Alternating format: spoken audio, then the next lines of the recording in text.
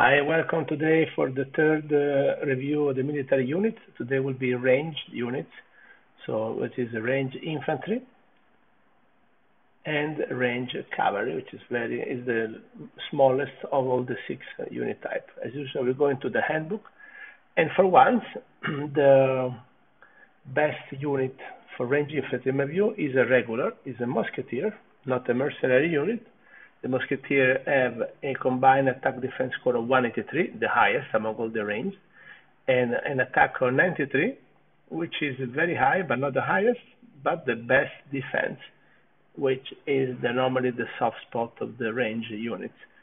It gives a damage amplifier of 15%, which is also the highest, and no additional uh, skills because it's a regular. Number two, we go back into the mercenaries and it is the dragon cavalry. Despite there is no horse, it's called cavalry. dragon cavalry, they have a total score of 159, so 24 uh, uh, units below the musketeer, big difference. Attack slightly better, 99. Very weak defense, 30 points below at 60. They are slightly faster, mobility of 10 they have the same damage multiplier of 15%. And um, they have uh, two skills, though, that the Musketeer don't have. A bonus when you are in the forest, which I don't think is very valuable. But there's this skill, which is a bit mysterious. The sniper always deal highest damage, except in humid conditions. Now, their interval is 94-104. What does it mean? It's always 104? Something sometimes they are not very clear in this explanation. Number three, Conquistador Infantry, also is a level 6 unit. He has uh, the same score, 159, with better attack and worse defense. Slightly slower, and 9. He also gives a 15% damage. He has the same forest mobility and is uh, more resilient, so the morale damage is reduced by 50%. So these two units, number two, number three, are very close to each other. Depends if you value this cryptic always the highest damage or the morale damage reduction. Number four for me is the Genoese crossbow militia from Genova. 149 total score and 99 attack, 12% um, damage multiplier and as a other skill, ignore 15% of the defenses and a mountain. If you are a mountain, you don't get the penalty of mobility. And by the way, as a reminder, every military type is best against some. In this case, uh, for uh, range, their best victims are the counter infantry with their long poles, little for cavalry, but very sitting ducks for uh, archery when you have a, range unit pointed against counter infantry and melee cavalry, also they have a small sword, so they cannot uh, counter-attack properly. And that's why when uh, you are in battle, if your unit is uh, counter infantry, you need to put the gear which reduce archery damage because that's the one you get the most. Okay? So Genoese militia.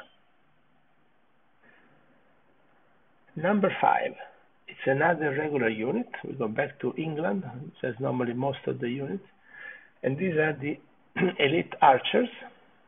The elite archers, they have a combined score of 158, which is higher than uh, actually the Genoese militia, but mercenary have the skills, which I have put a value on. Also, their attack is weaker, an attack only 78, better defense, the second best defense in the game. So particularly if the role is to defend the city, they may be a better unit to choose. Their damage given to those uh, to the melee cavalry in the counter infantry is only 10% extra, and no skills like any regular army.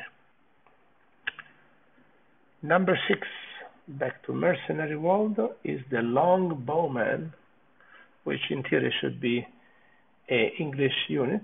I don't know why it's mercenary longbowmen, they have an attack on average only at 131 the attack defense score, but a very high attack, 91, as big as the musketeer actually, with a non-existent defense purely only at 40.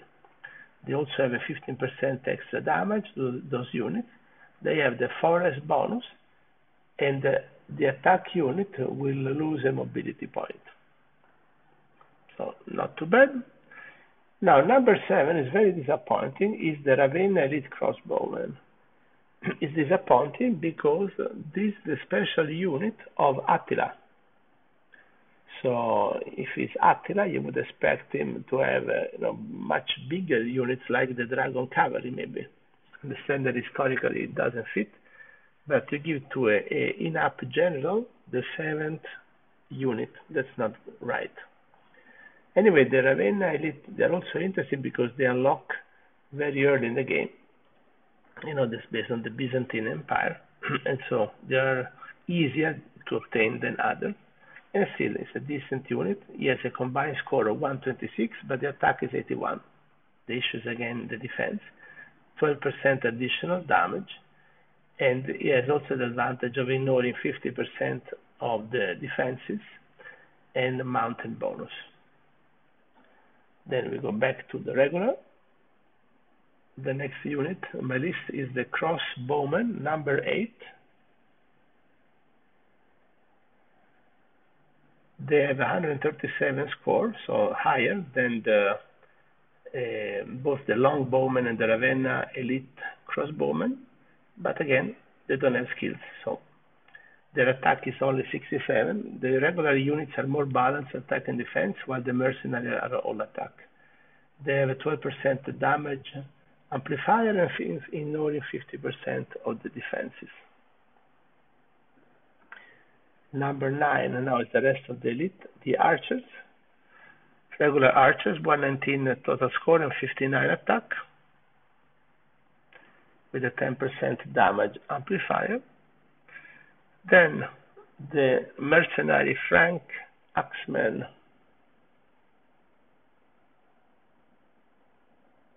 see if we, there you go. Yeah not very strong uh, um, military gear no weapon no armature. The Frank Axman they have a score below average 107 combined with a 72 attack and a 6% amplifier though they have in ignoring 10% of the defense, mountain bonus, and uh, reduce the cavalry damage by 10%. Number 11, the Javelineer, that's regular. You get this unit also early in the game. Because remember, most of the units are locked. You unlock them by surpassing chapters of the campaign. So the Javelineers, they have a score of 102 with a 52 attack and 50 defense, 8% damage increase. And then we go back, it's back and forth. Unfortunately, we are, these guys are also unlocked immediately. The World Raiders, they are uh, very weak, only 92 combined, although 62 in attack and 8% amplification. They have the skill to dodge 10% probability to dodge the attack. They are very fast in forest, in forest troops may be useful, and uh, the attack cost is minus one. Also, as a reminder, if you haven't watched my other videos on the military units, the mercenary are the units that you can recruit in a castle, while the regular units you recruit in the city. And to unlock them, you all go into the recruit uh, screen, and here you can use the mercenary uh, draw order. You see this card on the top. You see number three. Those cards you can buy from the shop or you gain in the mission. You can recruit one, and it's very random. The probability of which skills you get are on the right. I show you the units. And so I always re recruit 10 because in 10 I am a guaranteed that I will only have, I will have at least one advanced listing. We go back to our list. So we had just down to the last of the range unit and which is the slinger Slinger is so poor that England does not even have it. You have to go to the Frankish kingdom. There you go. Slinger has an 85 combined with a 45 attack and 8% increase. Basic unit. Although, again, it's very crappy unit, but because it's available at the beginning, you will upgrade it. If you watch some of my battles in level 2, level chapter 3, you see I'm using slingers over the better javelineers or archers because my slingers are level 3, so their skills are higher than the javelineer level 1. Keeping in mind.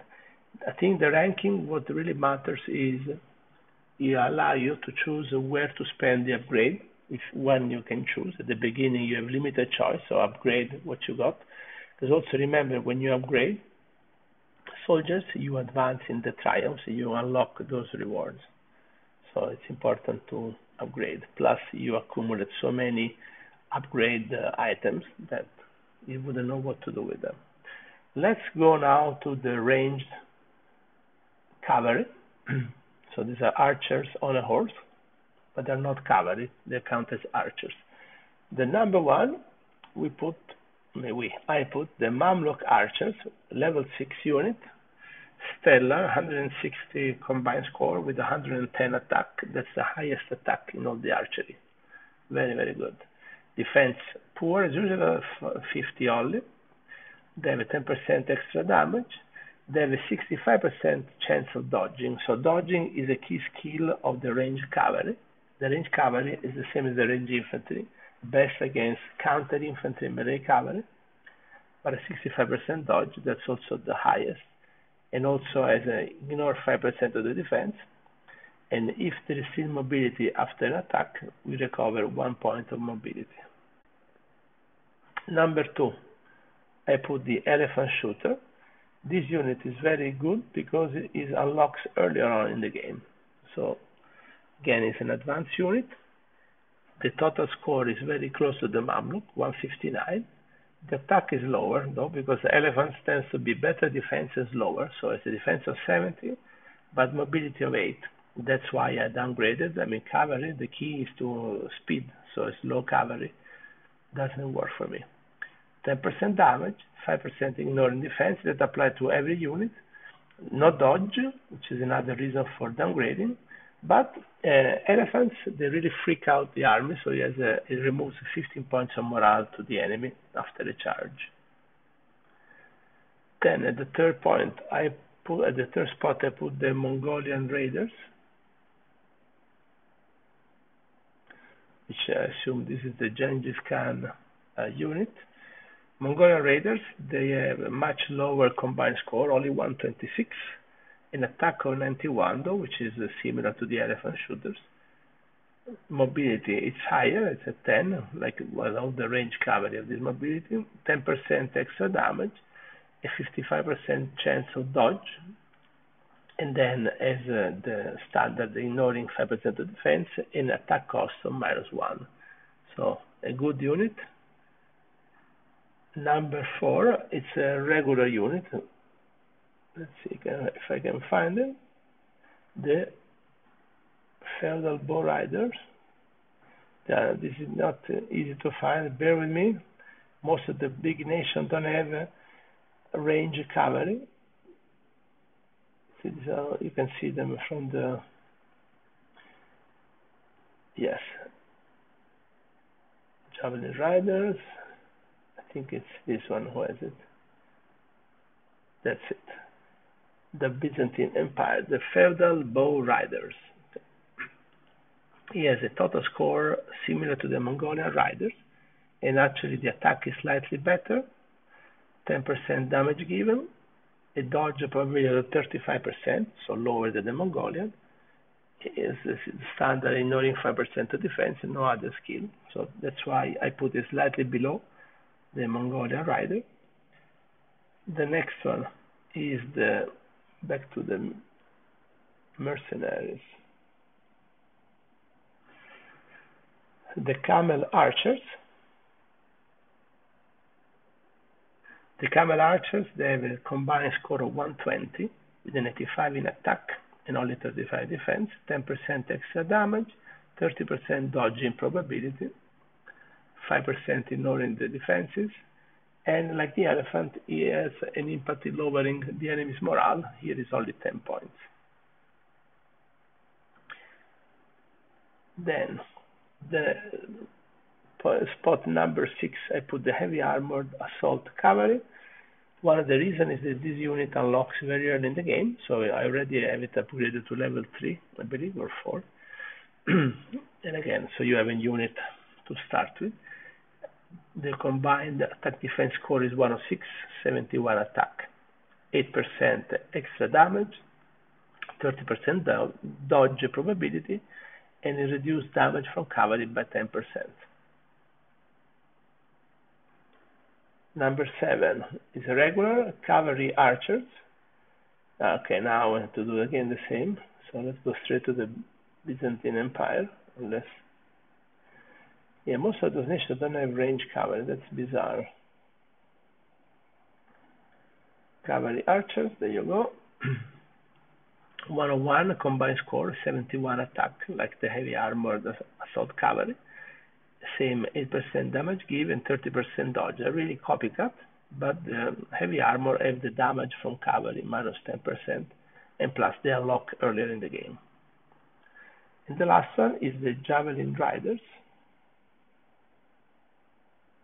which have a score of 81, a 56 attack, so very, very weak, and a 25 defense. 8% extra damage, 25% chance of dodging. And that concludes our range infantry review. So there are far less units in range. We have 20 units in cavalry. We have